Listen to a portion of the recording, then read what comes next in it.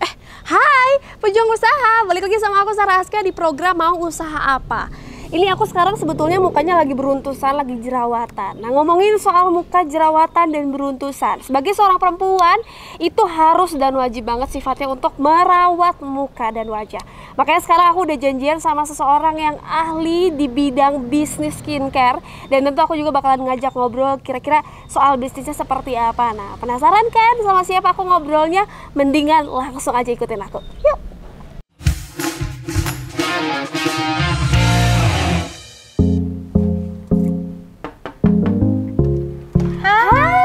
Divana ya?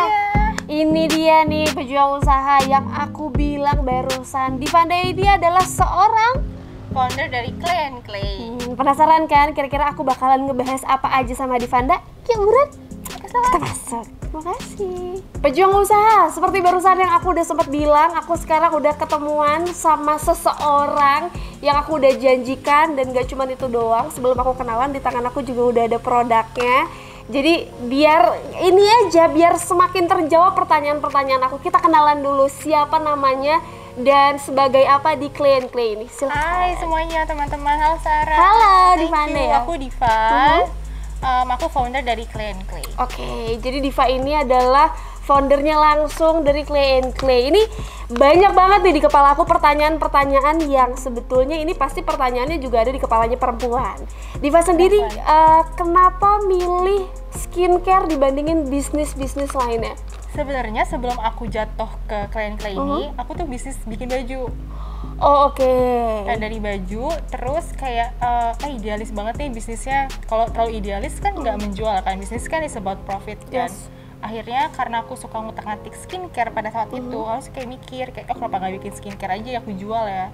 Karena em, skincare yang aku bikin sekarang nih itu formulasi dari aku sendiri. Ini susah kan buat aku pribadi sebagai pengguna doang. Maksudnya aku nggak pernah sampai kepikiran untuk jadi bisnis. Cerita awal kamu kenapa akhirnya memilih untuk formulasinya gue temuin tuh gimana tuh? Jadi kan and Clay itu berdiri pada tahun 2017. Uh, Tapi aku udah pakai skincare ini dari 2014. Jadi pada awalnya waktu 2014 aku itu kerja di dunia media. Oke. Nah, jadi aku agak sedikit lompat-lompat nih ya. Mhm. Soalnya kan aku okay. basically uh, animasi, Mhm. lulusannya animasi. Terus pindah ke media yang aku harus jadi graphic designer. Oke. Nah di sana uh, kalau kehidupan media kan parah banget ya deadline-nya. Tarik nafas. Ah, gitu. jadi deadline-nya kan sampai jam 2 pagi, jam 3 pagi. Terus yang nggak pernah jerawatan jadi jatuhnya jerawatan. Nah di satu sisi aku media, aku juga freelance sebagai model. Jadi pas jadi model catwalk, aku suka dimarahin, kok mukanya jerawatan mulu sih kayak Iya. gitu. Kan bukan salahku ya. Ya nggak tahu sih salah Iya. siapa gitu. Tapi maksudnya kayak stres kan, ada stres. Akhirnya waktu itu pernah ada ngebawain skincare natural dari Inggris Mhm. Ke Indonesia. Pas coba kayak oh kok works ya Iya. ternyata ya. Soalnya pas udah coba pakai dokter muka, terus uh, skincare yang pada umumnya pada saat waktu itu 2014 tuh nggak berhasil. Hmm. Akhirnya aku coba skincare terus berhasil. Oke. Karena berhubung susah ya waktu itu ya kan kalau sekarang kan beli uh, barang dari luar negeri lebih mudah ya. Iya. Kalau jam dulu susah. Akhirnya aku cari tuh gimana caranya bikin uh, skincare natural sendiri. Karena kan ada homemade homemade gitu kan. Iya, iya, iya. iya. Tapi pas aku cari-cari itu kayaknya em, kayak kurang deh, takut kenapa-napa kulit kan. Akhirnya aku ngambil sekolah organic skincare formulation eh, di Inggris. Tapi untuk si prosesnya sendiri nih kamu butuh berapa lama sih sampai akhirnya maksudnya kita dari riset misalnya nemuin formula sampai ke jadi dan di share lah ke teman-teman itu butuh berapa lama biasanya Kalau yang itu ya, Ah, itu aku cuma butuh sebulan. Tapi yang paling lama itu eh, cleansing balm, itu bisa sampai 2 tahun. Oke, ya jadi eh, ini eh, sebetulnya Divana ini punya beberapa produk, ada tiga kan sebetulnya. Yang pertama itu ada si acne oil ini, terus lip sync balm, sama satu lagi yang Eh, Rosanium face oil. betul. Dan Jadi- ternyata di antara tiga itu yang paling lama adalah yang balm itu ya. Sampai sekarang masih di eh, uji coba lagi. Oke oke. Nah ini menarik nih soal uji coba. Itu kan eh, kita anggap aku aja sangat-sangat gak ngerti dari proses uji coba sampai ke jualan itu prosesnya gimana sih maksudnya apakah dari menemukan formulasi kita harus ke pabrik atau kita harus uh, konsultasi lagi dengan ahlinya misalnya dokter-dokter atau kayak gimana biasa stepnya Um, kalau aku kan agak unik ya bisnisnya ya, karena kan formulasi aku sendiri. Iya. Tapi ini aku mau bahas aku atau pada umumnya? Karena kamu beda. sendiri aja aku mau belajar sama kamu soalnya Karena kalau misalnya aku itu pertama kan aku bikin formulasi sendiri. Oke. Aku research kan, jadi uh, ingredientsnya banyak nih, Mhm. ingredientsnya banyak. Terus um, aku coba nih, aku kan pingin bikin acne face oil. oke Berarti um, apa aja sih ingredients yang bisa menyembuhkan acne gitu Iya. kan?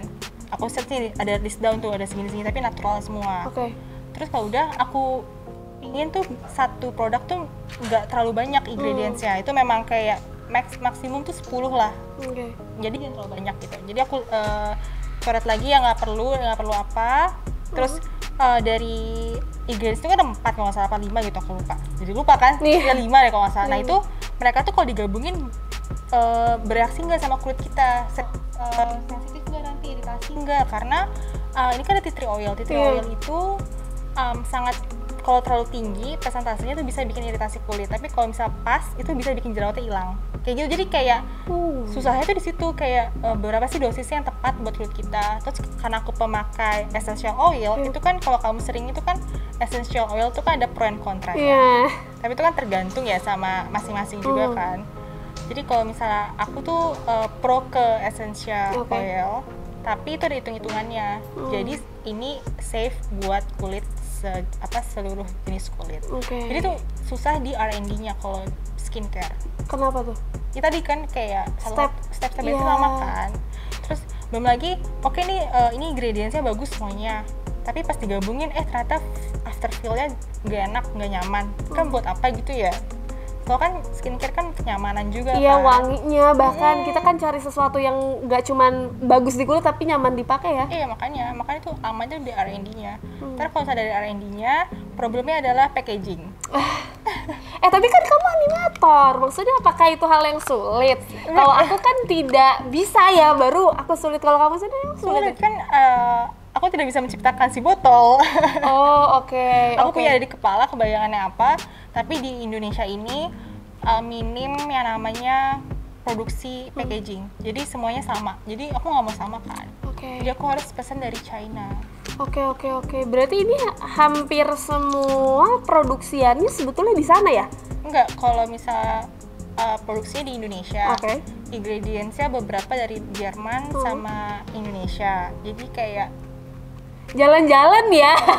ini tuh buat nyiptain satu formula- formulasi Iya, ini juga. aja tuh jalan-jalan loh iya, Diva loh. iya bener juga, aku juga sadar sih. online semua ya tapi lucu deh lihat perhatiin ini warnanya hijau kayak kalau misalnya kamu perhatiin kayaknya skincare yang begini lucu kan ini kayak teenager banget jadi aku belum sempet sama sekali em, kepikiran kalau ternyata ini adalah untuk teenager sebetulnya tapi ternyata kata Divanda sendiri ini harusnya sih untuk teenager tapi jadinya untuk orang-orang yang cukup lebih dewasa sedikit Iya. ini ngomongin soal si target marketnya sendiri kamu pada saat bikin skincare terutama ini aku kan nggak pernah tahu nih skincare untuk remaja yang cocok mana yang dewasa gimana awal cerita kamu akhirnya target marketingnya untuk mereka tapi jadinya mereka tuh gimana tuh Karena pas pertama kali aku buat, umur aku 22 tahun. oke Eh, iya, kayaknya sih. Iya, sepertinya sih seperti oke itu. oke oke 20 2017 berarti ya eh eh 2007 pertama kali bikin tahun eh tahun berapa? 2014. eh 2014 oke Iya, oke dua-dua ya, kayaknya sih dua-dua. Ya, pertama kali aku bikin dua-dua. Jadi aku merasa aku masih teenager. Oh, Oke, oh, berangkat dari situ, Uh-huh. bikin semua. 22 tahun pada kepikiran bisnis. bikin Aku- langsung bisnisnya yang keren dan serius gitu maksudnya. Itu belum kepikiran, kok aku baru bikin-bikinan belajar itu kan. Oh, Oke. Terus Iya, iya. eh, aku baru bisnis tuh mulai umur 25 kalau nggak salah deh. Kan Hmm. Iya 25 atau 26 aku lupa. Kayak 25 26. Uh-huh. Em, pertama target marketnya anak-anak muda. Oke. Tapi entah mengapa yang beli justru newly wed. Jadi kayak Oke. newly married gitu loh. Karena dia baru eh, lahir apa hamil. Dia hormonnya, mencari ya iya. mencari eh, skincare yang aman untuk eh, Ibu hamil. ibu hamil. Jadi jatuhnya dia terkenalnya di situ. Berangkat dari situ justru jadinya banyak orang yang Mm-mm. belanjanya justru bukan teenager walaupun kalau misalnya diperhatiin nih pejuang usaha itu so teenager warnanya lucu banget hijau terus ya lucu aja tuh kayak aku nggak mungkin sih review di sini ya karena beda lagi juga kuning dan hijau kan? Iya iya iya iya. Untuk harganya sendiri ini berapa sih kamu seratus empat ribu. Oke oke. Ini juga packaging seru nih karena karena aku nggak tahu ternyata untuk dapetin botol ini tuh harus keluar ya. Walaupun sebetulnya kalau di Indonesia sendiri ada nggak sih botol-botol yang kayak gini? Atau ya sama aja berarti jatuhnya kalau di Indonesia. Sama aku nggak mau sama. Oke. Sebenarnya paling gampang Cina cuma Chi- China itu bisa minimal tiga ribu. Minimal pembelian ya? ya. Kalau misalnya di Indonesia tuh sepuluh ribu. Jadi kalau misalnya buat start yang baru awal-awal tuh berat banget kan. Di packaging sepuluh ribu tuh. Oke. Tapi kalau misalnya botol ini misalnya aku pakai packaging ini dari awal misalnya, terus di tengah-tengah eh, stoknya habis, terus dari salahnya habis, untuk repeatnya gimana? nah itu tuh ya. Aku Itu- itu belum dapat problemnya sih tapi untungnya alhamdulillah belum. Oh belum pernah sampai kehabisan? Ya karena kalau kehabisan ribet nggak sih kayak? iya bener sih. Aku mau bikin yang rosanium aja ingredientsnya habis. Terus kayak nunggu dulu sebulan ya mbak. Terus kayak oh ya udah. Ya udah berarti um, stoknya nggak ada sold out Oh, Oke, oh tapi setidaknya ada kejelasan dari sananya akan kapan adanya dan tidak adanya ya. Ya sih kan kalau nggak ada kayak gini ribet tiba-tiba nggak ada. iya dan plus kan kita mau uh, apa namanya puasa ya Ya, itu pabrik manufacture tutup semua. Hmm, jadinya harus uh, buru-buru sekarang nih gitu Oke, ini menarik. Eh, dari tadi kita ngebahas hampir ya mostly semua produksi dapat packaging, botol dan semuanya dari luar negeri. Apakah di Indonesia nggak ada? Atau kamu sendiri ngeliat kayaknya secara kualitas Indonesia belum cocok sama kamu? Indonesia itu kalau aku bisa bilang punya potensi Mhm. tapi mungkin terlalu minder kali ya Oh, Oke, Jadi sebenarnya bahan-bahannya itu udah ada di Indonesia, tapi diolahnya di Jerman, and then dibeli lagi ke Indonesia, lalu dijual lah kepada kita. Jadi kayak tahu kan kenapa mahal. harganya ya berarti ya. Jadi kayak kita punya apa namanya apa sih namanya tuh kayak bahan mentahnya raw materialsnya, tapi kan harus diolah ya. Nah kalau diolah tuh nggak tahu gimana caranya, aku nggak ngerti juga. Itu harus dilempar ke luar negeri. Yang kalau aku tuh di Jerman, terus dibeli lagi sama yang pabrik di sini yang eh, udah jadinya baru dijual ke produsen-produsen kayak karena aku sebetulnya amazed dengan si produk yang kan ini lucu banget. Terus tadi juga ngomongin si target marketingnya ternyata loncat gitu ya. Tapi apakah em, ada positif negatifnya? Maksudnya dari target marketing? Maksudnya kan kita ngomongin kalau target market luas banget kan. Remaja eh, prediksinya sekian, tapi tiba-tiba sekian gini. Apakah bisnis ini menjanjikan untuk kita perempuan sebagai pebisnis muda atau gimana nih? Dari dari kacamata kamu deh? kalau dari aku waktu aku mulai pertama kali itu sangat uh, struggle. Karena lokal brand tuh dikit banget. Ya. lokal brand dikit tapi karena dikit itu menjadi sebuah peluang aku untuk berbisnis di dunia itu. Jadinya dilihat kan. Hmm. kayak eh, jadi menonjol gitu lah. Kayak oh ini lokal brand tapi eh, ini skincare udah natural lagi. Kan aku natural ya. Jadi bahan-bahannya natural dan organik lokal brand pula jadi kayak orang-orang yang udah mulai muncul nasionalisme tinggi akan prefer memilih brand aku dibandingkan brand yang lagi hype itu eh, Korea Oke. Korea skincare kan banyak banget ya Iya. ya kayak kok banyak, banget Banyak gitu. semuanya ngerain tuh semua skin terus mukanya kok apa Sama semua. ambasadornya kok sama semua gitu sama semua makanya nggak bisa dibedain. Iya, jadi kayak tapi karena aku punya keunggulan di situ dan jualan di Indonesia juga, jadinya aku ada nih apa namanya kelihatan lah. Cuman eh, makin ke sini karena makin mudahnya pabrik juga ya untuk bikin produk yang batch kecil. Karena waktu aku em, tahun 2017 itu susah banget mencari satu batch kita bikin ini tuh below dan 5000 mereka mau 10.000 per bulan. Kan kayak nggak mungkin banget kan. Maksudnya kita kan belum setara yang mesh production kan. Kita kan jatuhnya masih indie brand ya masih indie brand jadi kalau 10.000 tuh berat banget Oke. makanya aku cari pabrik yang bisa below 5000 pieces setiap ordernya tuh susah Oke. cuma sekarang karena banyaknya orang-orang udah berani bikin bisnis skincare atau makeup jadi banyak manufacturer yang adjustable ke pemain-pemain baru ini Oh. jadi sekarang semua itu bisa bikin um, below 5000 pieces Hmm. bahkan ini agak lompat makeup aja kan kita tahu banyak lipstick kan Iya. lipstick itu sebenarnya mereka mempermudahkan jadi minimum 5000 tapi bisa 5 varian Oh jadi seribu seribu seribu seribu, ya, kayak ya, gitu. ya, jadi ya. bisa di negotiable lah Ini kan ngomongin tadi aja sekali produksi harus sekian ribu. Packaging nggak ada di Indonesia. Ini pasti modalnya nggak sedikit. Pasti. Apalagi tadi ngebahasnya Diva cash flow-nya sar cash flow-nya gitu. Nah untuk modal sendiri kamu pada saat terjun oke gue mau clean clay itu berapa modal yang dikeluarin? Pertama kali banget. Pertama kali banget ya? 5 Iya. juta? 5 juta tapi semua? 5 juta buat ini doang. Nggak maksudnya kayak dulu aku tuh berangkat dari artisan skincare. Oh artisan itu kan berarti handmade ya yang which is belum ada uh, sertifikasinya dari situ aku selama enam bulan itu kayak gitu jadi uh, uang yang aku Dapet. dapatkan itu aku kumpulin akhirnya aku bikin PT aku bikin uh, daftar haki Mhm. aku juga bikin BPOM-nya tapi oke memang dari uang yang dapat itu uh, nggak cukup buat bikin BPOM. Hmm. Maksudnya produksi ini ya di akhirnya. Jadi aku harus ada modal dari diri sendiri juga. Oke, berarti cuman modal untuk skincare-nya dulu di luar PT HK BPOM itu 5 juta Hmm, Semua- selama enam bulan. selama enam bulan. Udah balik modal tapi kan? Udah udah. Udah dong. Ya udah. Cuman um, aku nambah lagi karena kan aku bikin produk baru lagi kan. Oke. Oke, dari 5 juta itu sampai akhirnya kebalik modal itu butuh berapa lama prosesnya? Maksudnya balikin modal 5 jutanya tadi. Ah, ah, untuk sebulan. Oh sebulan tapi udah balik lagi ya. Berarti sebetulnya ini secara bisnis dan industri akan cepet ya skincare sendiri ya.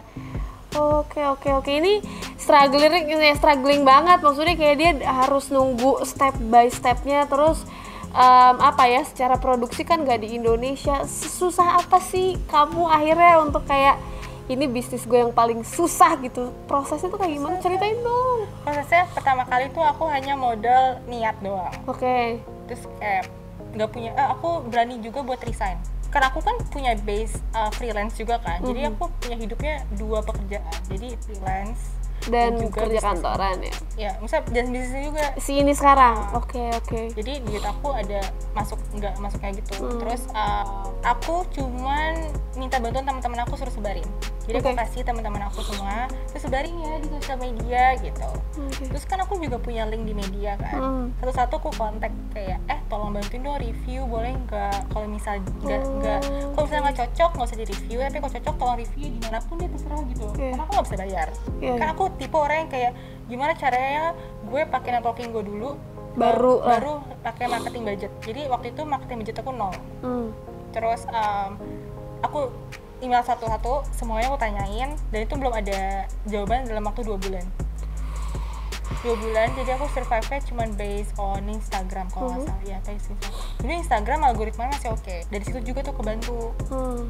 dari situ terus akhirnya pas bulan berapa di kok dibales nih sama si female daily Hmm. female daily kan emang terkenal akan beauty-nya Iya. ya kayak oh ini menarik banget ya uh, beauty uh, skincare-nya karena waktu itu kan belum banyak yang lokal ya boleh dikirimin ya ke kantor female daily katanya kayak gitu terus kayak oh ya udah makasih ya atas kesempatannya dikirim lah terus udah hilang gitu terus aku mikir kayak oh mungkin ini nggak cocok nih nggak bagus nih nggak bagus Iya, nih, makanya gitu nggak kan. dia review gitu Iya, ya. Oke. review. and then the next three months tiba-tiba uh, Mbak Afi Asegaf membuat video khusus untuk jerawat dan ini ada Justru itu yang nggak dikirimin ya? Itu dikirimin Oh, cuma aku oke. pikir kan udah, udah kayak kok Udah lama kedua- iya kira aku udah banget, lupa iya, gitu iya. ya nah selama udah lupa aku tetap usahanya ini datengin ke acara apa ya JXP deh kalau nggak salah Iya. itu kan ada um, seminar-seminar sama Lizzy Para ya terus aku datang aja aku ikutan di situ Oke. ikutan sih sebenarnya aku cuman ya belajar sih belajar bisnis kan sama dia tapi pas akhirnya aku kenalan sama Zipara terus aku bilang aku tuh lagi struggle bikin bisnis um, Skincare. skincare lo gini gini gini terus tadi oh ya udah um, kamu kirim aja ke tempat aku ntar aku review gitu jadi kayak oh, semuanya gratis ya Strateginya gitu ya ternyata ya. iya jadi kayak based on ini aja kayak harus humble sih menurut aku Kayak- Keberanian. Iya, sama humble juga. Walaupun kalian sama-sama founder, tapi kan kita masih perlu banyak belajar ya. Iya. As a founder or CEO tuh perlu banyak belajar, jadi jangan sombong aja gitu. Terus Iya. sampai akhirnya proses berikutnya lagi sampai ke sekarang sapal gitu itu gimana?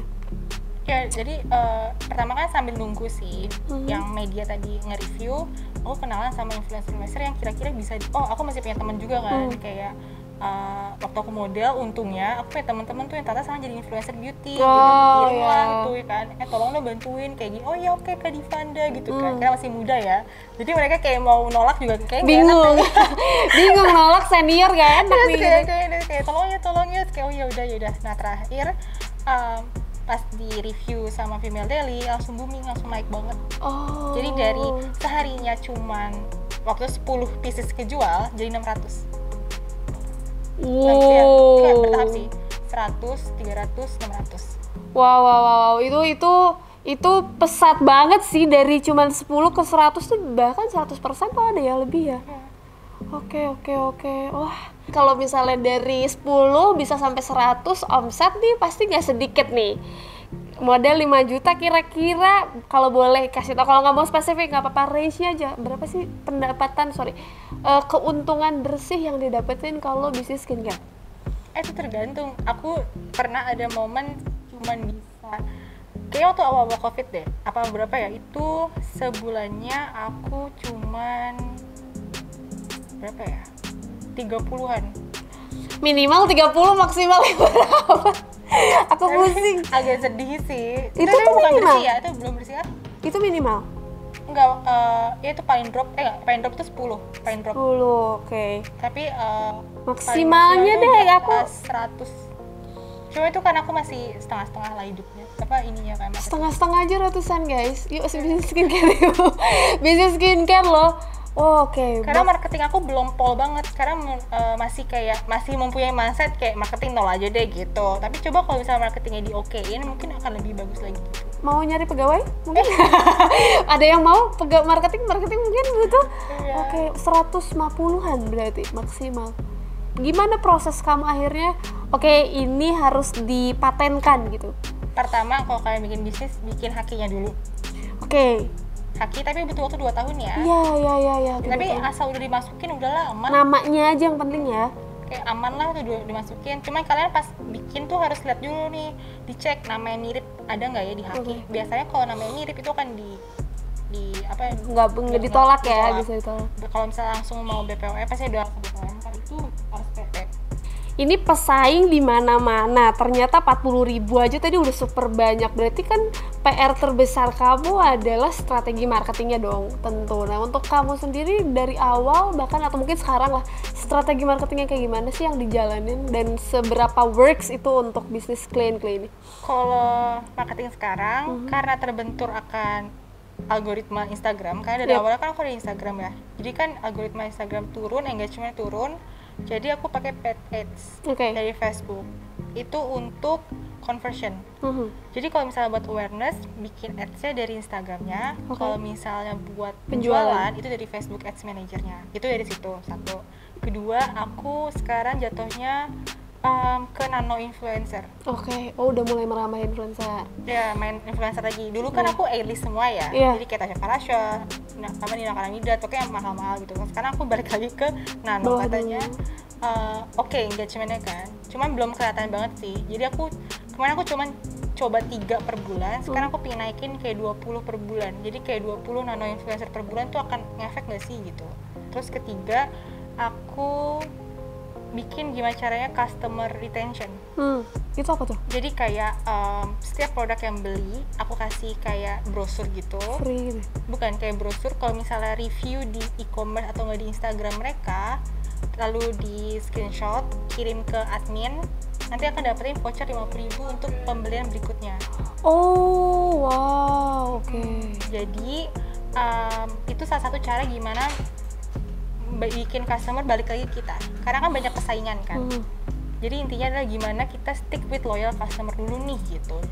Baru kita akuisisi customer baru gitu. Hmm, itu dapat bonusnya sekaligus dua loh awareness dapat ternyata penjualan juga dapat lagi karena Oh iya, iya yang itu ya. iya pasti balik lagi kan oke oke oke ini terakhir banget nih kira-kira kalau misalnya aku mau tahu semua informasi klien-klien sosial media e-commerce-nya aku bisa dapat dari mana Diva? dari di uh, di website di Mhm. www.clientclay.com sama instagramnya @clientclay Oke, paling kalau misalnya mau belanja belanja e-commerce semua ada ya. Di Linktree di situ semua lengkap. Jadi buat kamu pejuang usaha sebelum belajar yang sekarang udah beres nih tahu informasi-informasinya cobain produknya dari Diva. Ih cocok. Terakhir nih mungkin dari aku juga em, semakin termotivasi dan mungkin juga untuk kamu nih pejuang usaha yang kayaknya mulai semakin kepikiran untuk bisnis. Ayo buruan bisnisnya dari sekarang mulai aja. Tapi kalau misalnya kamu ngerasa untuk cari lagi informasinya dan belajar jangan lupa untuk terus nonton program mau usaha apa episode berikutnya dengan bisnis-bisnis yang lain dan kira-kira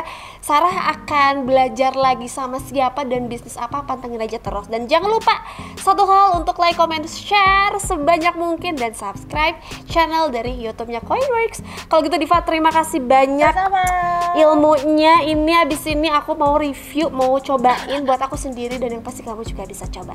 Kalau gitu akunya pamit ya. Terima kasih. Diva juga pamit. Dadah